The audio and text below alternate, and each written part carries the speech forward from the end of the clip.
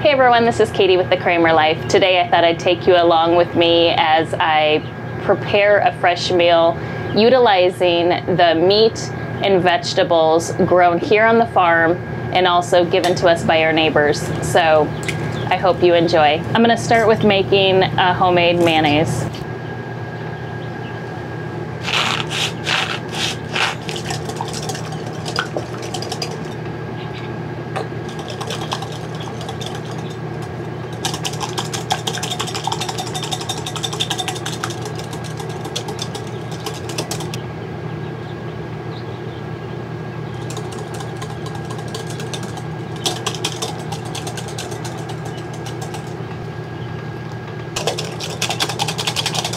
Now I'm gonna prep the corn. For this, I'm gonna actually put these on the grill and they're gonna just smoke. So our neighbor gave us this corn. It was the first batch of the season. So I'm really excited to see how these are. So I'm just gonna clean them up a little bit, just taking off the silky hairs and removing any of the worms that are in there. And I'm gonna put the husks back on them That'll prevent them from getting too cooked or charred while they're in the smoker. I don't do anything else to them at this point. I'll actually season them once they're cooked, but I wanna get these started because the corn takes quite a long time, about 45 minutes, and I wanna make sure that I have enough time to cook the chicken and the corn will be done.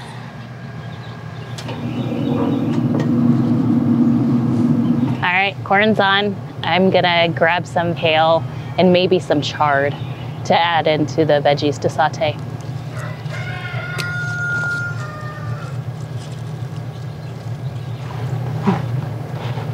Just gonna give it a quick rinse and set it aside because we don't need it right now. It'll be one of the last things we prepare.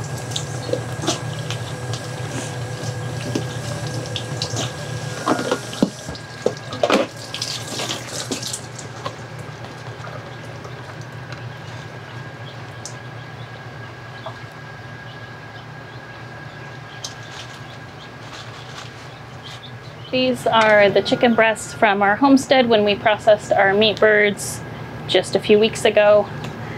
Uh, this is just one pair of breasts. Uh, they're boneless, but they still have their skin on. I'm gonna remove their skin and clean them up a little bit. For the chicken breasts, I'm just gonna lightly season them and then I'm going to coat them with the mayonnaise mixture. And I will say, I'm calling it a mixture. I purposefully didn't whip it to the consistency of thick mayonnaise because I wanted to use it a little bit more like a dredge. Next year I plan on having rosemary, thyme, and garlic all from our homestead. But for now, we'll just use the organic store-bought.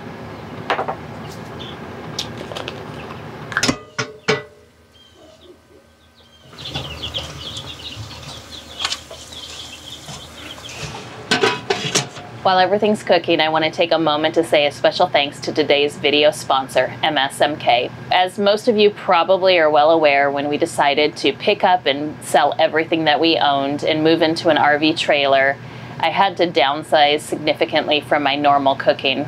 And any of you who know me know how much I love to cook. So I was very excited to get a new pot and pan set, uh, especially some non-stick frying pans. The reason I went and selected this brand and this uh, style was because of the the non-stick factors. I really like the fact that you can take these pans straight from the stove top and put them inside the oven because they're oven safe up to 700 degrees.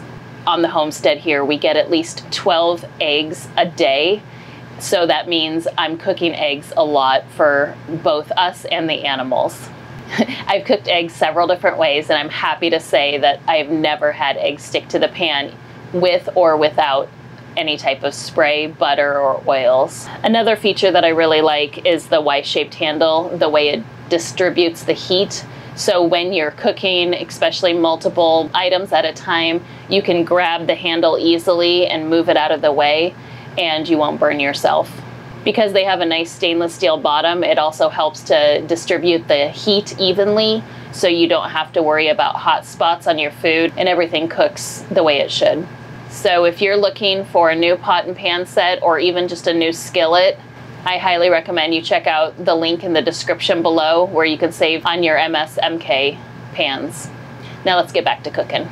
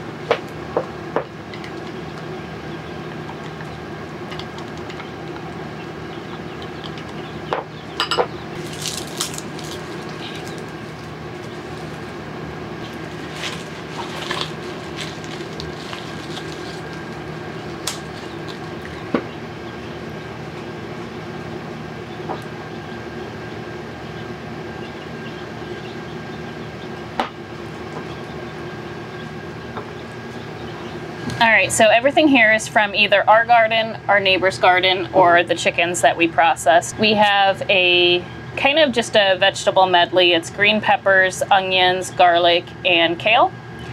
We have a mayo that I made a scratch base mayo with eggs from Oh, our chickens. nice. Um, and then just an herb crusted mayo based chicken. Okay. And then the corn from our neighbors, and I just put a little bit of sour cream and the mayo with some black pepper and a little bit of parmesan. Wow.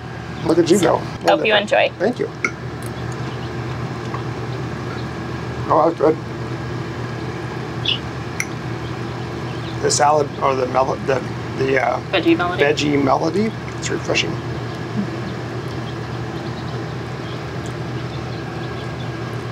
See what you think about the chicken. That's good.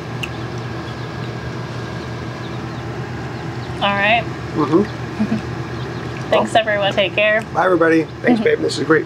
Yep. Well, thank you all so much for coming along with me today as I cooked and prepped a chicken skillet meal. I'd love to hear from you in the comments below. What are your favorite or go to chicken skillet recipes? Or is there anything else uh, that you'd like me to share or cook up? I'd really like to continue to do some cooking videos, and I'm always looking for new recipes and new things to try. So, thank you so much for watching. Take care, and until the next one, bye.